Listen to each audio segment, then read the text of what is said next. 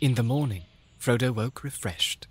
He was lying in a bower made by a living tree with branches laced and drooping to the ground. His bed was of fern and grass, deep and soft, and strangely fragrant. The sun was shining through the fluttering leaves, which were still green upon the tree. He jumped up and went out. Sam was sitting on the grass near the edge of the wood. Pippin was standing, studying the sky and weather. There was no sign of the elves. They have left us food and drink and bread, said Pippin. Come and have your breakfast. The bread tastes almost as good as it did last night. I did not want to leave you any, but Sam insisted. Frodo sat down beside Sam and began to eat. What is the plan for today? asked Pippin. To walk to Bucklebury as quickly as possible, answered Frodo, and gave his attention to the food. Do you think we shall see anything of those riders? asked Pippin cheerfully. Under the morning sun, the prospect of seeing a whole troop of them did not seem very alarming to him. Yes, probably, said Frodo, not liking the reminder. But I hope to get across the river without their seeing us. Did you find out anything about them from Gildor? Not much, only hints and riddles, said Frodo evasively. Did you ask about the sniffing? We didn't discuss it, said Frodo with his mouth full. Oh, you should have. I'm sure it is very important. In that case, I'm sure Gildor would have refused to explain it, said Frodo sharply. And now leave me in peace for a bit. I don't want to answer a string of questions while I'm eating. I want to think. Good heavens, said Pippin. At breakfast? He walked away towards the edge of the green. From Frodo's mind, the bright morning, treacherously bright, he thought, had not banished the fear of pursuit, and he pondered the words of Gildor. The merry voice of Pippin came to him. He was running on the green turf and singing. I could not, he said to himself. It is one thing to take my young friends walking over the Shire with me until we are hungry and weary, and food and bed are sweet. To take them into exile, where hunger and weariness may have no cure, is quite another. Even if they are willing to come, the inheritance is mine alone. I don't think I ought even to take Sam. He looked at Sam Gamgee and discovered that Sam was watching him. Well, Sam, he said. What about it? I am leaving the Shire as soon as ever I can. In fact, I have made up my mind now not even to wait a day at Crickhollow, if it can be helped. Very good, sir. You you still mean to come with me? I do. It is going to be very dangerous, Sam. It is already dangerous. Most likely neither of us will come back. If you don't come back, sir, then I shan't. That's certain, said Sam. Don't you leave him, they said to me. Leave him, I said. I never mean to. I'm going with him, if he climbs to the moon. And if any of those Black Riders try to stop him, they'll have Sam Gamgee to reckon with, I said. They laughed. Who are they and what are you talking about? The elves, sir. We had some talk last night, and they seemed to know you were going away. So I didn't see the use of denying it. Wonderful folk elves, sir. Wonderful. They are, said Frodo. Do you like them still now you have had a closer view? They seem a bit above my likes and dislikes, so to speak, answered Sam slowly. It don't seem to matter what I think about them. They are quite different from what I expected. So old and young, and so gay and sad, as it were. Frodo looked at Sam rather startled, half expecting to see some outward sign of the odd change that seemed to have come over him. It did not sound like the voice of the old Sam Gamgee that he thought he knew, but it looked like the old Sam Gamgee sitting there, except that his face was unusually thoughtful. Do you feel any need to leave the Shire now, now that your wish to see them has come true already? He asked. Yes, sir. I don't know how to say it, but after last night, I feel different. I seem to see ahead in a kind of way. I know we're going to take a very long road into darkness. But I know I can't turn back. It isn't to see elves now, nor dragons, nor mountains that I want. I, I don't rightly know what I want, but I have something to do before the end. and it lies ahead. Not in the Shire. I must see it through, sir, if you understand me. I don't altogether, but I understand that Gandalf chose me a good companion. I am content. We will go together. Frodo finished his breakfast in silence. Then, standing up, he looked over the land ahead and called to Pippin. All ready to start? He said as Pippin ran up. We must be getting off at once. We slept late, and there are a good many miles to go. You slept late, you mean? said Pippin. I was up long before, and we are only waiting for you to finish eating and thinking. I have finished both now, and I'm going to make for Bucklebury Ferry as quickly as possible. I'm not going out of the way. Back to the road we left last night. I'm going to cut straight across country from here. Then you are going to fly, said Pippin. You won't cut straight on foot anywhere in this country. We can cut straight to the road anyway, answered Frodo. The ferry is east from Woodhall, but the hard road curves away to the left. Well, you can see a bend of it away north over there. It goes round the north end of the Marish so as to strike the causeway from the bridge above Stock. But that is miles out of the way. We could save a quarter of the distance if we made a line for the ferry from where we stand. Shortcuts make long delays, argued Pippin. The country is rough around here, and there are bogs and all kinds of difficulties down in the Marish. I know the land in these parts, and if you are worrying about black riders, I can't see it is any worse meeting them on a road than in the wood or a field. It is less easy to find people in the woods and fields, answered Frodo. And if you're supposed to be on the road, there's some chance that you will be looked for on the road and not off it. All right, said Pippin. I will follow you into every bog and ditch, but it is hard. I had counted on passing the Golden Perch at Stock before sundown. The best beer in the East Farthing. Or it used to be. It is a long time since I tasted it. Well, that settles it, said Frodo. Shortcuts make delays, but inns make longer ones. At all costs, we must keep you away from the Golden Perch. We want to get to Bucklebury before dark. What do you say, Sam?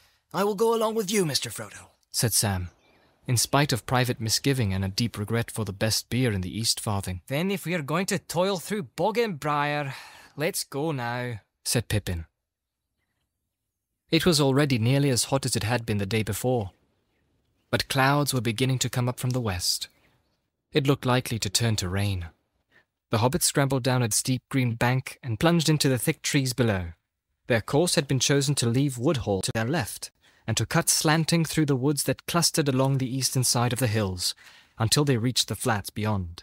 Then they could make straight for the ferry, over country that was open, except for a few ditches and fences. Frodo reckoned they had eighteen miles to go in a straight line. He soon found that the thicket was closer and more tangled than it had appeared.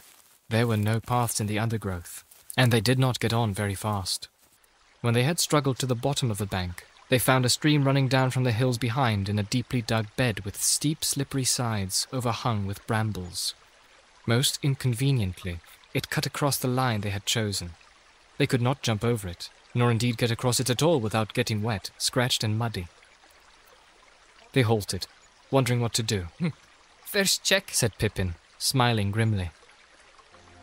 Sam Gamgee looked back. Through an opening in the trees, he caught a glimpse of the top of the green bank from which they had climbed down. Look, he said, clutching Frodo by the arm.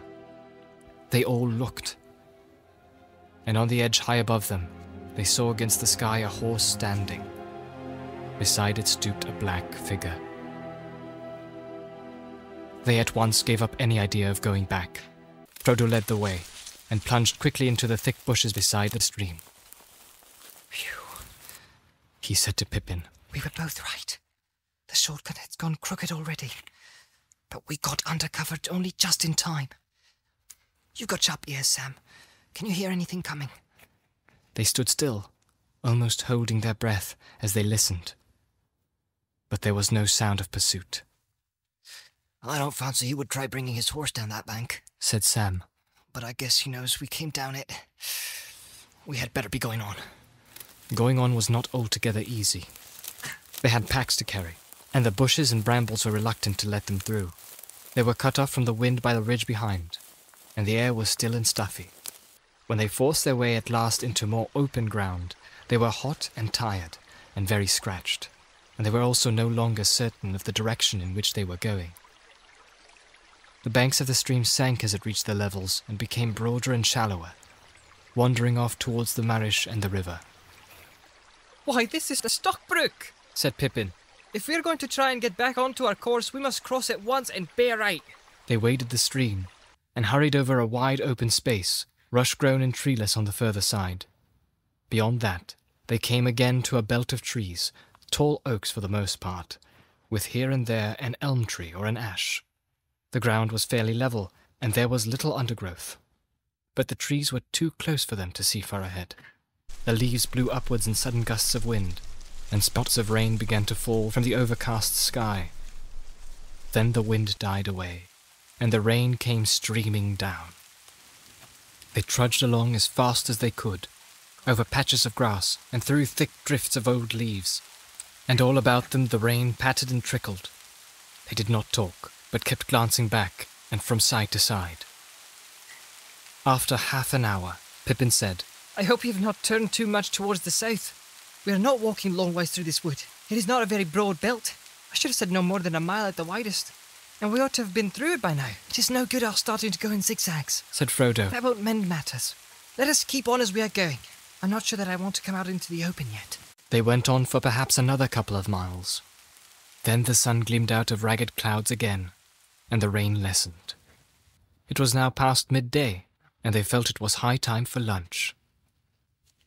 They halted under an elm tree. Its leaves, though fast turning yellow, were still thick, and the ground at its feet was fairly dry and sheltered. When they came to make their meal, they found that the elves had filled their bottles with a clear drink, pale golden in colour.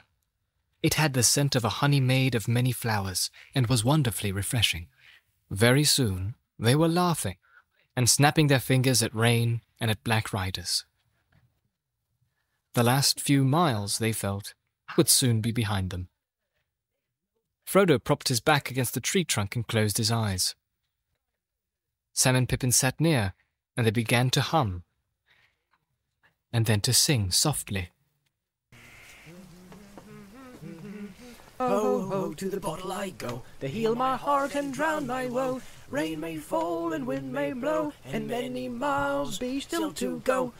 But under a tall tree I will lie, and let the clouds go sailing by. Ho, ho, ho, to the bottle I go. They began again louder. They stopped short suddenly. Frodo sprang to his feet.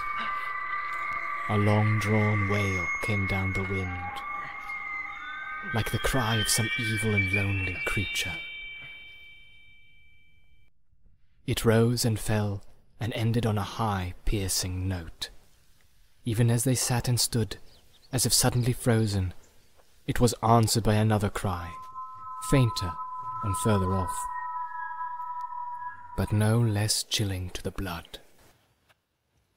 There was then a silence, broken only by the sound of the wind and the leaves. Uh, uh, and, uh, what do you think that was? Pippin asked at last, trying to speak lightly, but quavering a little. If it was a bird, it was one that I never heard in the Shire before. It was not a bird or beast, said Frodo. It was a call, or a signal. There were words in that cry, though I could not catch them. But no hobbit has such a voice. No more was said about it. They were all thinking of the riders, but no one spoke of them. They were now reluctant either to stay or go on, but sooner or later, they had got to get across the open country to the ferry. And it was best to go sooner and in daylight. In a few moments, they had shouldered their packs again and were off. Before long, the wood came to a sudden end. Wide grasslands stretched before them.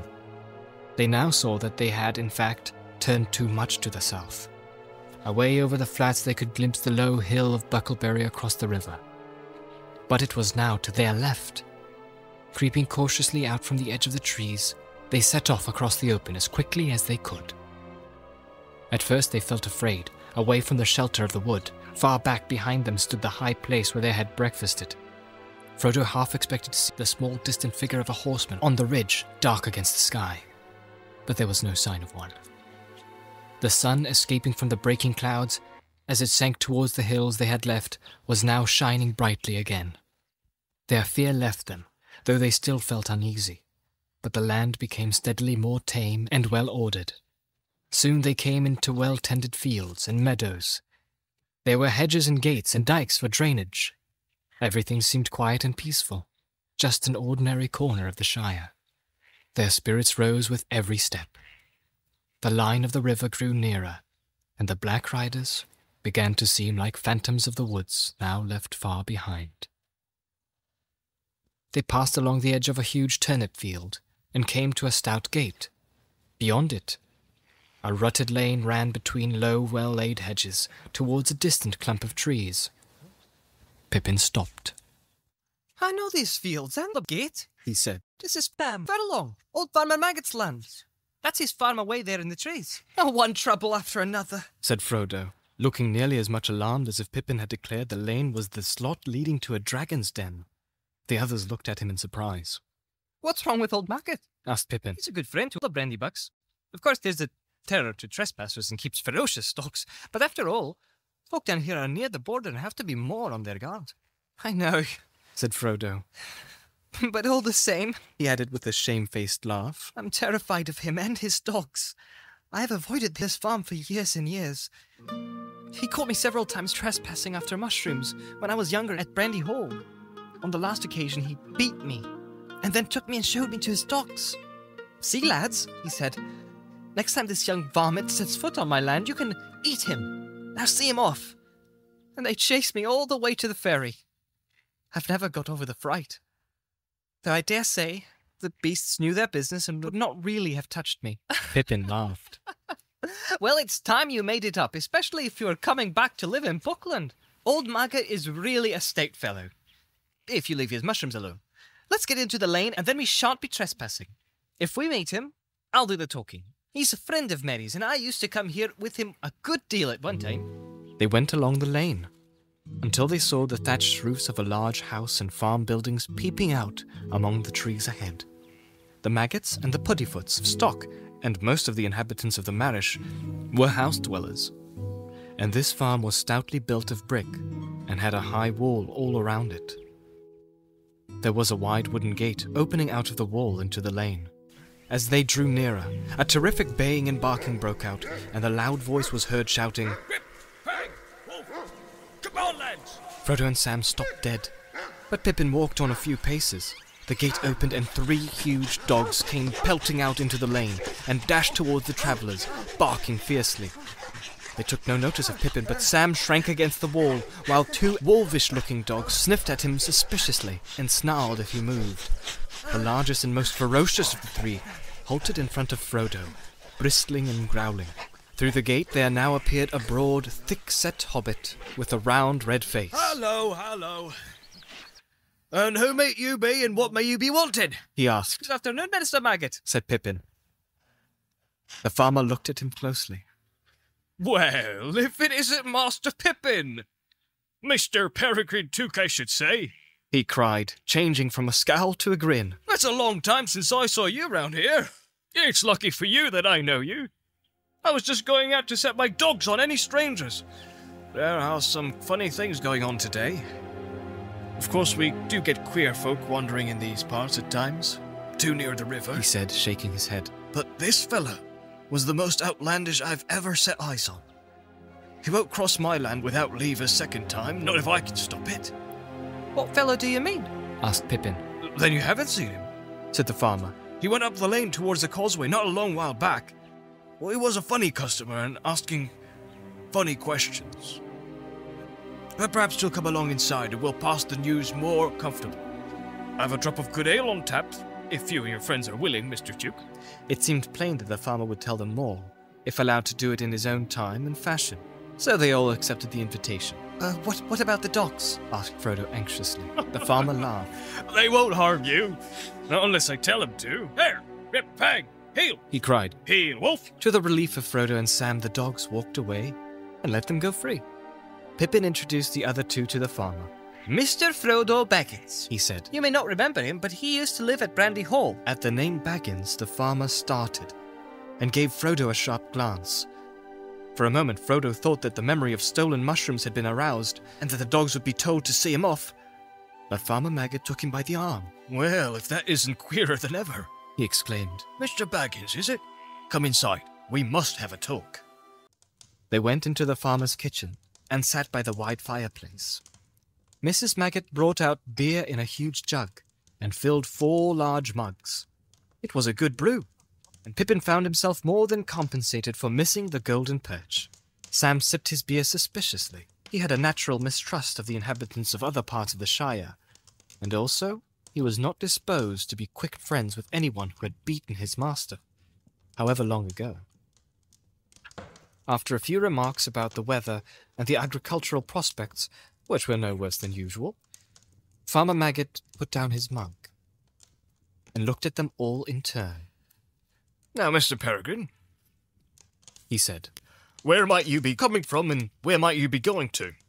Were you coming to visit me? For if, if so, you had gone past my gate without my seeing you. Well, no. answered Pippin. To tell you the truth, since you have guessed it, we got into the lane from the other end. We had come over your fields, but that was quite by accident. We lost our way in the woods back near Woodhall, trying to take a shortcut to the ferry.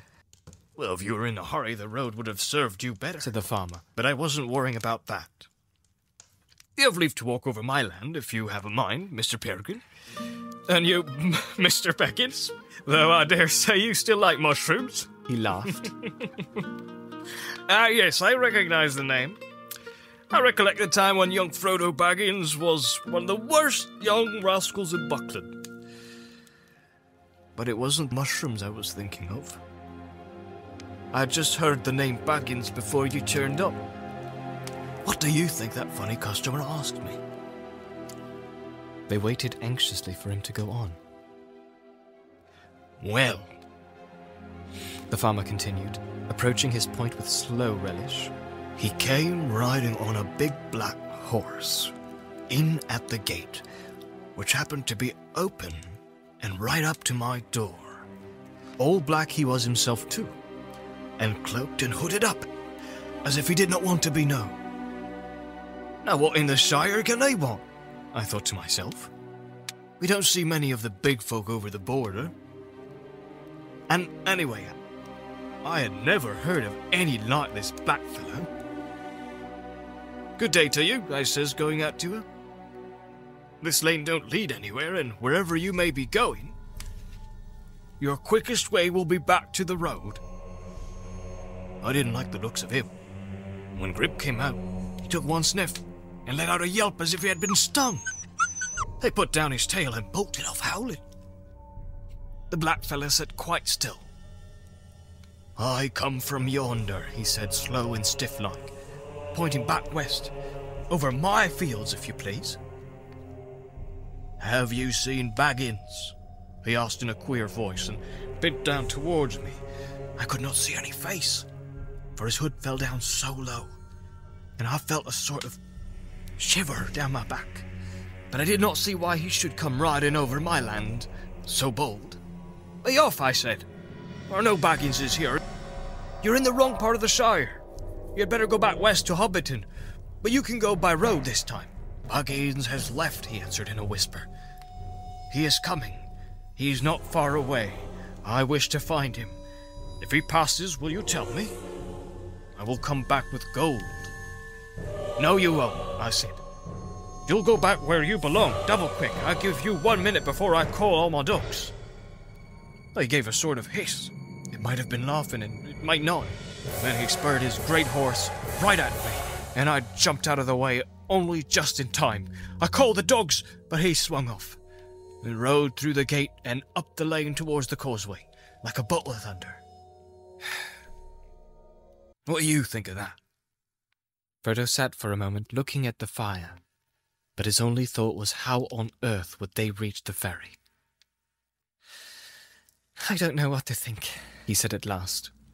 Then I'll tell you what to think. Said Maggot. You should never have gone mixing yourself up with Hobbiton folk, Mr. Frodo. Folk are queer up there. Sam stirred in his chair and looked at the farmer with an unfriendly eye. But you were always a reckless lad. When I heard you had left the Brandybucks and gone off to that old Mr. Bilbo, I said that you were going to find trouble. Mark my words, this all comes from those strange doings of Mr. Bilbo's. His money was got in some strange fashion in foreign parts, they say. Maybe there is some that want to know what has become of the golden jewels that he's buried in the hill in Hobbiton, as I hear. Frodo said nothing. The shrewd guesses of the farmer were rather disconcerting. Well, Mr. Frodo, Maggot went on, I'm glad that you've had the sense to come back to Buckland. My advice is stay there. Don't get mixed up with these outlandish folk. You'll have friends in these parts. If any of these black fellows come after you again, I'll deal with them. I'll say you're dead, or have left the Shire, or anything you like. And that might be true enough. For as like as not, it is old Mr. Bilbo they want news of. Maybe you're right, said Frodo, avoiding the farmer's eye and staring at the fire. Maggot looked at him thoughtfully. Mm, well, I see you have ideas of your own, he said. It is as plain as my nose that no accident brought you and that rider here on the same afternoon. And maybe my news was no great news to you, after all. I'm not asking you to tell me anything you have a mind to keep to yourself, but I see you are in some kind of trouble. Perhaps you're thinking it won't be too easy to get to the ferry without being caught. I was thinking, sir, said Frodo. But we have got to try and get there. And it won't be done by sitting and thinking. So I'm afraid we must be going. Thank you very much indeed for your kindness. I've been in terror of you and your dogs for over thirty years, Farmer Maggot, though you may laugh to hear it. It's a pity, for I've missed a good friend. And now, I'm sorry to leave so soon, but I'll come back, perhaps one day, if I get the chance. You'll be welcome when you come, said Maggot. But now I've a notion. It's near sundown already, and we're going to have our supper, for we mostly go to bed soon after the sun. If you and Mr. Peregrine and all would stay and have a bite with us, we would be pleased. And so should we, said Frodo. But we must be going at once, I'm afraid. Even now, it will be dark before we can reach the ferry. Ah, but wait a minute. I was going to say, after a bit of supper, I'll get out a small wagon, and I'll drive you all to the ferry, and that will save you a good step, and it might also save you trouble of another sort. Frodo now accepted the invitation gratefully. To the relief of Pippin and Sam, the sun was already behind the western hills, and the light was failing. Two of Maggot's sons and his three daughters came in, and a generous supper was laid on the large table. The kitchen was lit with candles, and the fire was mended. Mrs. Maggot bustled in and out. One or two other hobbits belonging to the farm household came in. In a short while, fourteen sat down to eat. There was beer aplenty, and a mighty dish of mushrooms and bacon, besides much other solid farmhouse fare. The dogs lay by the fire and gnawed rinds and cracked bones. When they had finished, the farmer and his sons went out with a lantern and got the wagon ready. It was dark in the yard when the guests came out. They threw their packs on board and climbed in. The farmer sat in the driving seat and whipped up his two stout ponies. His wife stood in the light of the open door. You be careful of yourself, Maggot. She called, Don't go arguing with any foreigners and come straight back. I will, said he, and drove out of the gate. There was now no breath of wind stirring. The night was still and quiet, and a chill was in the air. They went without lights and took it slowly. After a mile or two, the lane came to an end, crossing a deep dike, and climbing a short slope up on to the high banked causeway. Maggot got down and took a good look either way, north and south. But nothing could be seen in the darkness, and there was not a sound in the still air. Thin strands of river mist were hanging above the dikes and crawling over the fields. It's going to be thick, said Maggot, but I'll not light my lantern till I turn for home. We'll hear anything on the road long before we meet it tonight. It was five miles or more from Maggot's Lane to the ferry. The hobbits wrapped themselves up, but their ears were strained for any sound above the creak of the wheels and the slow clop of the pony's hoofs. The wagon seemed slower than a snail to Frodo. Beside him, Pippin was nodding towards sleep, but Sam was staring forwards into the rising fog. They reached the entrance to the ferry lane at last. It was marked by two tall white posts that suddenly loomed up on their right. Farmer Maggot drew in his ponies, and the wagon creaked to a halt. They were just beginning to scramble out, when suddenly they heard what they had all been dreading hoofs on the road ahead. The sound was coming towards them. Maggot jumped down and stood holding the ponies' heads, and peering forward into the gloom. Clip, clop, clip, clop, came the approaching rider. The fall of the hoofs sounded loud in the still foggy air. You'd better be hidden, Mr. Frodo. Said Sam anxiously.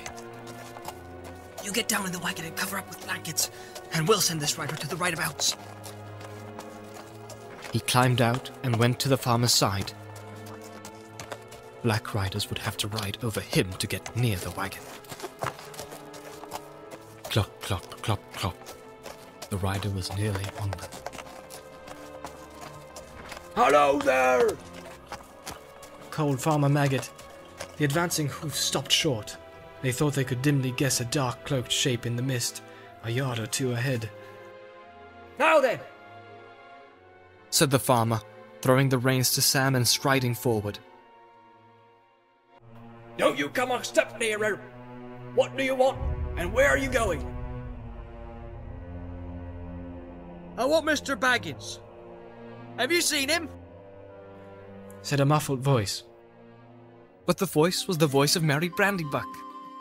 A dark lantern was uncovered, and its light fell on the astonished face of the farmer. Mr. Merry! He cried. Yes, of course. Who did you think it was? said Merry, coming forward. As he came out of the mist and their fears subsided, he seemed suddenly to diminish to ordinary hobbit size. He was riding a pony, and a scarf was swathed around his neck and over his chin to keep out the fog.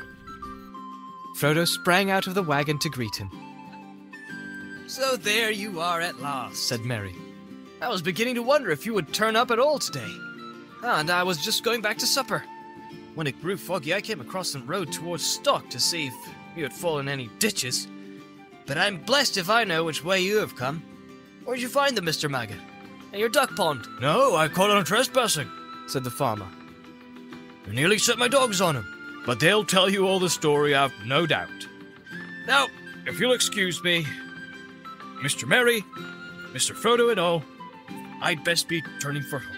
Mrs. Maggot will be worrying with the night getting thick. He backed the wagon into the lane and turned it. Well, good night to you all. He said, It's been a queer day, and no mistake. But all's well that ends well, though perhaps we should not say that until we reach our own doors.